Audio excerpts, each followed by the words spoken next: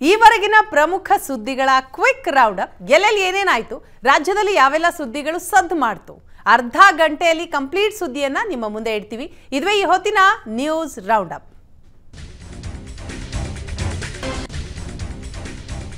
ಪರಿಷತ್ನಲ್ಲೂ speaker ವಿರುದ್ಧದ ಜಮೀರ್ ಹೇಳಿಕೆ ಪ್ರತಿಧ್ವನಿಸಿದೆ. ಸಚಿವ ಜಮೀರ್ ಸದನಕ್ಕೆ ಬರ್ತಾ ಇದ್ದಂತೆ ಬಿಜೆಪಿ ಸದಸ್ಯರ ಗದ್ದಲ ಸೃಷ್ಟಿಯಾಯಿತು. ಬಳಿಕ ಪ್ರಶ್ನೋತ್ತರ ಕಲಾಪದ ವೇಳೆ ಉತ್ತರ ನೀಡಲು ಎದ್ದು ನಿಂತ ಜಮೀರ್ ವಿರುದ್ಧ ಧಿಕ್ಕಾರ ಕೂಗಿದ್ರು. ಸಚಿವ ಜಮೀರ್ ವಿರುದ್ಧ ಪೀಠಕ್ಕೆ ಅಗೌರವ ತೋರಿಸಿಲ್ಲ ಎಂದ ಸಭಾನಾಯಕ ಸಭಾಪತಿ ಹೊರಟ್ಟಿ ಹೇಳಿದ್ರೂ ಕೂಡ ಕೇಳದ ಬಿಜೆಪಿ ಸದಸ್ಯರು ಆಕ್ರೋಶವನ್ನ ವ್ಯಕ್ತಪಡಿಸಿದ್ರು. ಸ್ಪೀಕರ್ ಪೀಠಕ್ಕೆ ಧರ್ಮದ ಲೇಪನ ಹಚ್ಚಿದ ಸಚಿವರ ಉತ್ತರ ಬೇಡ. ನಾವು ಪೀಠಕ್ಕೆ ಕೈ ಮುಗಿಯೋದೇ ಹೊರತು ವ್ಯಕ್ತಿಗಲ್ಲ. ಜಮೀರ್ ನೆರವಿಗೆ ಆಡಳಿತ ಪಕ್ಷದ ಸದಸ್ಯರು ಬರಲಿಲ್ಲ. ಆದ್ದರಿಂದ ಗದ್ದಲ ಜಾಸ್ತಿ ಆಯಿತು. ಗದ್ದಲದ ನಡುವೆಯೂ ಸಚಿವ ಜಮೀರ್ ಉತ್ತರ ನೀಡಿದ್ರು. ಗದ್ದಲ ಜಾಸ್ತಿ ಆಗ್ತಾ ಇದ್ದಂತೆ ಕಲಾಪ ಮುಂದೂಡಲಾಯಿತು.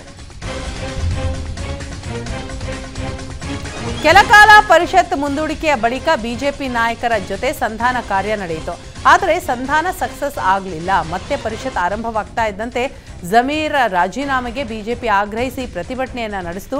ಈ ವೇಳೆ ನಾನು ಸ್ಪೀಕರ್ ಪೀಠಕ್ಕೆ ಯಾವತ್ತೂ ಅಗೌರವ ತೋರಿಲ್ಲ ಅಂತ ವಿಧಾನ ಪರಿಷತ್ನಲ್ಲಿ ಸಚಿವ ಜಮೀರ್ ಅಹಮದ್ ಸ್ಪಷ್ಟನೆಯನ್ನು ಕೊಟ್ಟಿದ್ದಾರೆ. ಅಗೌರವ ತೋರುವ ಕೆಲಸ ನಾನು ಮಾಡಿಲ್ಲ ಅಂತ ಹೇಳಿದರು.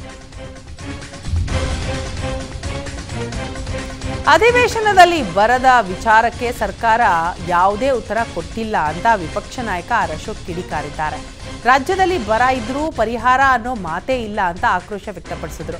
ಉತ್ತರ ಕರ್ನಾಟಕ ಸಮಸ್ಯೆ ಪರಿಹಾರ ಕಂಡುಕೊಳ್ಳಲು ಬೆಳಗಾವಿಯಲ್ಲಿ ಅಧಿವೇಶನ ಕರೆಯಲಾಗುತ್ತೆ. ಆದರೆ ಸರ್ಕಾರ ಮಾತ್ರ ಸ್ಟ್ಯಾಂಪ್ ಶುಲ್ಕ ಹೆಚ್ಚಳ ಮಾಡೋಕೆ, ಮನೆಗಳ ತೆರಿಗೆ ಹೆಚ್ಚಳ ಮಾಡೋಕೆ ಅಧಿವೇಶನ ಕರೆದಿದ್ದಾರೆ ಅಂತ ಕಿಡಿಕಾರಿದ್ದಾರೆ. ಸರ್ಕಾರದ ತೆರಿಗೆ ವಿಧಿಸೋದು, ಭ್ರಷ್ಟಾಚಾರ ಖಂಡಿಸಿ, ಸಂಜೆ ಹದಿನೈದು ಸಾವಿರ ಜನ ಸೇರಿಸಿ ಪ್ರತಿಭಟನೆ ಮಾಡ್ತಾ ಇದ್ದೀವಿ ಅಂತ ತಿಳಿಸಿದರು. ರಾಜ್ಯ ಸರ್ಕಾರದ ವಿರುದ್ಧ ಬಿಜೆಪಿಯಿಂದ ಬೆಳಗಾವಿಯಲ್ಲಿ ಇಂದು ಬೃಹತ್ ಪ್ರತಿಭಟನಾ ಸಮಾವೇಶ ಹಮ್ಮಿಕೊಳ್ಳಲಾಗಿದೆ. ಜನಹಿತ ಸಂಪೂರ್ಣ ಮರೆತು ಈ ಸರ್ಕಾರ ಸರ್ವಾಧಿಕಾರಿ ಧೋರಣೆಯನ್ನು ಅನುಸರಿಸ್ತಾ ಇದೆ ಅಂತ ಮಾಜಿ ಸಿಎಂ ಬಿಎಸ್ ಯಡಿಯೂರಪ್ಪ ಆಕ್ರೋಶ ವ್ಯಕ್ತಪಡಿಸಿದ್ದಾರೆ. ಜನಹಿತ ಸಂಪೂರ್ಣವಾಗಿ ಈ ಸರ್ಕಾರ ಮರೆತಿದ್ದು, ಇದರ ವಿರುದ್ಧ ನಾವು ಹೋರಾಟ ಮಾಡ್ತಾ ಇದ್ದೇವೆ ಅಂತ ಏಷ್ಯಾನೆಟ್ ಸುವರ್ಣ ನ್ಯೂಸ್ಗೆ ಬಿಎಸ್ವೈ ತಿಳಿಸಿದರು. ಗ್ಯಾರಂಟಿ ಯೋಜನೆಗಳು ಸಮರ್ಪಕ ಅನುಷ್ಠಾನ ಆಗ್ತಾ ಇಲ್ಲ ಅನ್ನೋದು ಒಂದು ಕಡೆಯಾದರೆ ಗ್ಯಾರಂಟಿ ಯೋಜನೆಗಳಿಂದ ಅಭಿವೃದ್ಧಿ ಕಾರ್ಯಗಳು ಕುಂಠಿತಗೊಳ್ತಾ ಇವೆ. ಯಾವುದೇ ಒಂದು ಭಾಗದಲ್ಲಿ ಒಂದು ಕಿಲೋಮೀಟರ್ ರಸ್ತೆ ಕೂಡ ನಿರ್ಮಾಣ ಆಗ್ತಾ ಇಲ್ಲ. ಈ ಗ್ಯಾರಂಟಿಯಿಂದ ನೀರಾವರಿ ಯೋಜನೆಗಳು ನಿಂತಿವೆ.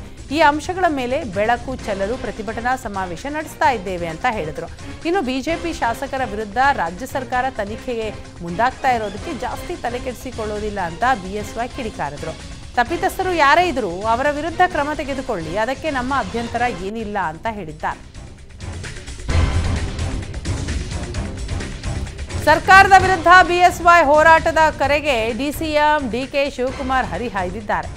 ಉತ್ತರ ಕರ್ನಾಟಕ ಸಮಸ್ಯೆ ಚರ್ಚೆ ಮಾಡೋದು ಬಿಟ್ಟು ಸರ್ಕಾರದ ವೈಫಲ್ಯ ಎತ್ತಿ ಹಿಡಿಯೋದನ್ನ ಬದಿಗಿಟ್ಟು ಹೊರಗಡೆ ಹೋರಾಟ ಮಾಡ್ತೀವಿ ಅಂತಂದ್ರೆ ಹೇಗೆ ಅಂತ ಪ್ರಶ್ನೆ ಮಾಡಿದ್ದಾರೆ. ಯಡಿಯೂರಪ್ಪನವರಾದರೂ ಆಗಲಿ, ಬೇರೆ ಯಾರಾದರೂ ಬರಲಿ. ಅರವತ್ತಾರು ಶಾಸಕರನ್ನ ಒಳಗಡೆ ಮಾತಾಡಲಿ ಅಂತ ಜನ ಕಳುಹಿಸಿದ್ದಾರೆ. ಒಳಗೆ ಬಿಟ್ಟು ಹೊರಗೆ ಮಾತನಾಡ್ತೇನೆ ಅಂತ ಯಾರು ಕೇಳ್ತಾರೆ? ಬಿಜೆಪಿ ಎಷ್ಟು ದುರ್ಬಲ ಆಗಿದೆ ಅನ್ನೋದಕ್ಕೆ ಇದು ಉದಾಹರಣೆ ಅಂತ ಕಿಡಿಕಾರಿದ್ದಾರೆ. ಪರಿಷತ್ನಲ್ಲಿ ಸುವರ್ಣ ನ್ಯೂಸ್ ವರದಿ ಸದ್ದು ಮಾಡಿದೆ. ಹೆಣ್ಣು ಭ್ರೂಣ ಹತ್ಯೆಯ ಬಗ್ಗೆ ಏಷ್ಯಾನೆಟ್ ಸುವರ್ಣ ನ್ಯೂಸ್ ನಿರಂತರವಾಗಿ ಸುದ್ದಿಯನ್ನ ಬಿತ್ತರಿಸಿತು. ಈ ಬಗ್ಗೆ ಪರಿಷತ್ನಲ್ಲಿ ಸಚಿವ ದಿನೇಶ್ ಗುಂಡೂರಾವ್ ಪ್ರಸ್ತಾಪವನ್ನು ಮಾಡಿದ್ದಾರೆ. ಭ್ರೂಣ ಹತ್ಯೆ ಪ್ರಕರಣವನ್ನು ಗಂಭೀರವಾಗಿ ಪರಿಗಣಿಸುತ್ತೇವೆ ರಾಜ್ಯದ ಮಟ್ಟದಲ್ಲಿ ಹೊಸ ಕಾರ್ಯಪಡೆ ರಚಿಸಿ ಹೆಣ್ಣು ಭ್ರೂಣ ಹತ್ಯೆಯ ವಿರುದ್ಧ ಕಠಿಣ ಕ್ರಮ ತೆಗೆದುಕೊಳ್ತೇವೆ ಅಂತ ಹೇಳಿದ್ದಾರೆ. ನಮ್ಮ ಕಣ್ಣ ಮುಂದೆ ಹತ್ಯೆ ನಡೀತಾ ಇರೋದು ವಿಪರ್ಯಾಸ. ಭ್ರೂಣ ಹತ್ಯೆ ಕುರಿತು ಮಾಹಿತಿ ನೀಡಿದವರಿಗೆ ಒಂದು ಲಕ್ಷ ಬಹುಮಾನ ಕೊಡುವುದಾಗಿ ಹೇಳಿದ್ದಾರೆ. ಮಾಜಿ ಸಿಎಂ ಎಚ್ ಡಿ ಕುಮಾರಸ್ವಾಮಿ ಅವರನ್ನ ಸಭಾಪತಿ ಬಸವರಾಜ ಹೊರಟ್ಟಿ ಭೇಟಿ ಮಾಡಿದ್ದಾರೆ. ಎಚ್ಡಿಕೆ ತಂಗಿದ್ದ ಬೆಳಗಾವಿ ಕೆಎಲ್ಇ ಗೆಸ್ಟ್ಗೆ ತೆರಳಿ ಭೇಟಿ ಮಾಡಿದ್ರು. ಕುತೂಹಲವನ್ನ ಕೆರಳಿಸ್ತಾ ಇದೆ ಈ ಭೇಟಿ. ಗೆಸ್ಟ್ ಹೌಸ್ನಲ್ಲಿ ಕೆಲ ಹೊತ್ತು ಹೊರಟ್ಟಿ ಹಾಗೂ ಕುಮಾರಸ್ವಾಮಿ ಕೆಲಕಾಲ ಮಾತುಕತೆ ನಡೆಸಿದ್ದು ಮಹತ್ವವನ್ನು ಪಡೆದುಕೊಂಡಿದೆ. ಜೆಡಿಎಸ್ನಲ್ಲಿದ್ದ ಸಭಾಪತಿ ಬಸವರಾಜ್ ಹೊರಟ್ಟಿ ಬಿಜೆಪಿಗೆ ತೆರಳಿದ್ರು. ಅಂದಿನಿಂದ ಇಬ್ಬರ ನಡುವೆ ಮಾತುಕತೆಯೇ ನಡೆದಿರಲಿಲ್ಲ. ಆದರೆ ಬಿಜೆಪಿ, ಜೆಡಿಎಸ್ ಮೈತ್ರಿಯಿಂದ ಇಬ್ಬರು ನಾಯಕರು ಭೇಟಿ ಮಾಡಿದ್ದಾರೆ. ಅಧಿವೇಶನದಲ್ಲಿ ಬಾಲ್ಯ ವಿವಾಹದ ಬಗ್ಗೆ ಶಾಸಕ ಶರಣಗೌಡ ಕಂದಕೂರ ಪ್ರಶ್ನೆ ಮಾಡಿದ್ದಾರೆ. ಯಾದಗಿರಿ ಜಿಲ್ಲೆಯಲ್ಲಿ ನಿರಂತರವಾಗಿ ಬಾಲ್ಯ ವಿವಾಹ ನಡೀತಾ ಇದೆ. ಬಾಲ್ಯ ವಿವಾಹಗಳನ್ನು ಮುಚ್ಚಿ ಹಾಕುವ ಕೆಲಸ ನಡೀತಾ ಇದೆ. ಮೊದಲೇ ನಮ್ಮ ಜಿಲ್ಲೆಯಲ್ಲಿ ಅಪೌಷ್ಟಿಕ ಕೊರತೆ ಇದ್ದು ಸರ್ಕಾರ ಈ ಬಗ್ಗೆ ಸೂಕ್ತ ಕ್ರಮ ತೆಗೆದುಕೊಳ್ಬೇಕು ಅಂತ ಹೇಳಿದರು. ಕಂದಕೂರು ಪ್ರಶ್ನೆಗೆ ಸಚಿವೆ ಲಕ್ಷ್ಮೀ ಹೆಬ್ಬಾಳ್ಕರ್ ಪ್ರತಿಕ್ರಿಯೆ ನೀಡಿದ್ದು, ಶಾಸಕರು ಬಾಲ್ಯ ವಿವಾಹದ ಬಗ್ಗೆ ನಮ್ಮ ಗಮನಕ್ಕೆ ತಂದಿದ್ದಾರೆ. ಖಂಡಿತ ಈ ಕುರಿತು ನಾವು ಗಮನ ಹರಿಸ್ತೇವೆ ಅಂತ ಭರವಸೆಯನ್ನು ಕೊಟ್ಟಿದ್ದಾರೆ. ತಪ್ಪು ಮಾಡಿದ ಯಾರನ್ನೂ ಕೂಡ ರಕ್ಷಣೆ ಮಾಡಲು ಬರಲ್ಲ. ನಿರ್ದಿಷ್ಟ ಕೇಸ್ ಇದ್ರೆ ನನ್ನ ಗಮನಕ್ಕೆ ತೆಗೆದುಕೊಂಡು ಬನ್ನಿ ಅಂತ ಹೇಳಿದರು.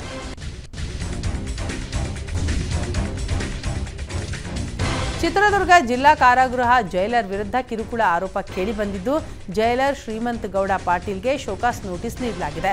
ಜೈಲರ್ ಶ್ರೀಮಂತ್ ಗೌಡ ಪಾಟೀಲ್ ವಿರುದ್ಧ ಆರೋಪಿ ಚಂದ್ರಪ್ಪ ಕೊಟ್ಟಿದ್ದ ದೂರಿನ ಆಧಾರದ ಮೇಲೆ ದಾವಣಗೆರೆ ಹೆಚ್ಚುವರಿ ಜಿಲ್ಲಾ ಮತ್ತು ಸತ್ರ ನ್ಯಾಯಾಲಯದಿಂದ ನೋಟಿಸ್ ನೀಡಲಾಗಿದೆ. ನೋಟಿಸ್ ತಲುಪಿದ ಒಂದು ವಾರದ ಒಳಗೆ ಕೋರ್ಟ್ಗೆ ಹಾಜರಾಗಲು ಸೂಚಿಸಿದೆ. ಜಾತಿಯ ಆಧಾರಿತ ಹಿಂಸೆ ಮತ್ತು ಥಳಿತ ಎಂಬುದಾಗಿ ದೂರಿನಲ್ಲಿ ಚಂದ್ರಪ್ಪ ಉಲ್ಲೇಖಿಸಿದ್ದಾರೆ. ನ್ಯಾಮತಿ ಠಾಣೆ ವ್ಯಾಪ್ತಿಯ ಅಪರಾಧ ಪ್ರಕರಣದಲ್ಲಿ ಆರೋಪಿ ಚಂದ್ರಪ್ಪ ಬಂಧನ ಆಗಿದ್ದರು. ದಾವಣಗೆರೆ ಜೈಲಿನಿಂದ ಚಿತ್ರದುರ್ಗ ಜಿಲ್ಲಾ ಕಾರಾಗೃಹಕ್ಕೆ ಚಂದ್ರಪ್ಪನನ್ನು ಶಿಫ್ಟ್ ಮಾಡಲಾಗಿತ್ತು. ರಾಜ್ಯ ಗಡಿ ಭಾಗದಲ್ಲಿ ಅಬಕಾರಿ ಅಧಿಕಾರಿಗಳ ಮತ್ತೊಂದು ಮಹತ್ವದ ಕಾರ್ಯಾಚರಣೆ ನಡೆದಿದೆ. ಗಡಿಭಾಗ ತಲಪಾಡಿಯಲ್ಲಿ ಅಕ್ರಮವಾಗಿ ಸ್ಪಿರಿಟ್ ಮತ್ತು ನಕಲಿ ಮದ್ಯ ದಾಸ್ತಾನಿನ ಮೇಲೆ ದಾಳಿ ನಡೆಸಿದ್ದು ಮೂವರನ್ನ ವಶಕ್ಕೆ ಪಡೆಯಲಾಗಿದೆ. ದಾಳಿ ಸಂದರ್ಭ ಓರ್ವ ಆರೋಪಿ ಪರಾರಿಯಾಗಿದ್ದಾನೆ. ತಲಪಾಡಿ ಮಸೀದಿ ಬಳಿಯ ಮನೆಯೊಂದರ ಮೇಲೆ ಅಬಕಾರಿ ಅಧಿಕಾರಿಗಳು ದಾಳಿ ನಡೆಸಿದರು. ಖಚಿತ ಮಾಹಿತಿ ಮೇರೆಗೆ ದಾಳಿ ನಡೆಸಿದ್ದ ಅಬಕಾರಿ ಅಧಿಕಾರಿಗಳು ಇನ್ನೂರ ಹತ್ತು ಲೀಟರ್ ಸ್ಪಿರಿಟ್, ಇಪ್ಪತ್ತು ಲೀಟರ್ ನಕಲಿ ಬ್ರ್ಯಾಂಡಿ, ಎರಡು ಪಾಯಿಂಟ್ ಮೂರು ನಾಲ್ಕು ಲೀಟರ್ ನಕಲಿ ಪ್ರೆಸ್ಟೀಜ್ ವಿಸ್ಕಿ, ಇನ್ನೋವಾ ಕಾರು ಸಹಿತ ಅದರ ಒಳಗಡೆ ಇದ್ದಂತಹ ಎಪ್ಪತ್ತು ಲೀಟರ್ ಸ್ಪಿರಿಟ್ ಸ್ಪಿರಿಟನ್ನು ವಶಕ್ಕೆ ಪಡೆದಿದ್ದಾರೆ.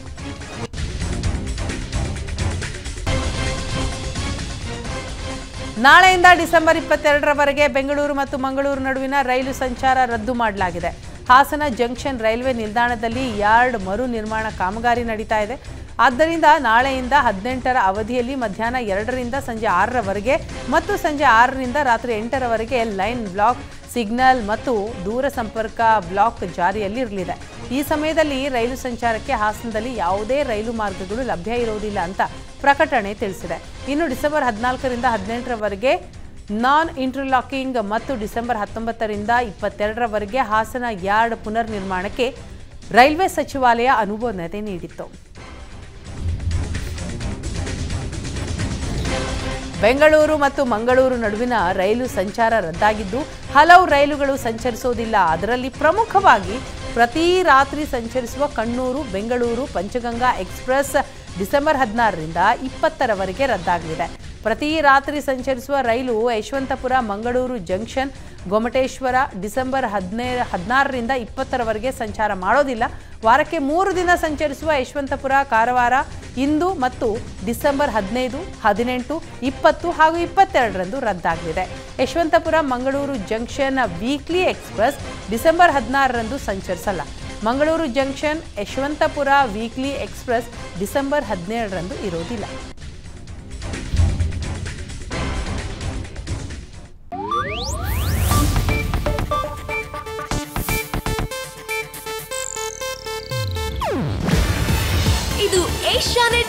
ನೆಟ್ವರ್ಕ್ ಪ್ರಸ್ತುತಿ. ನೀವು ನೋಡ್ತಿದ್ದೀರಾ ಏಷ್ಯಾ ನೆಟ್ ಸುವರ್ಣ ನ್ಯೂಸ್.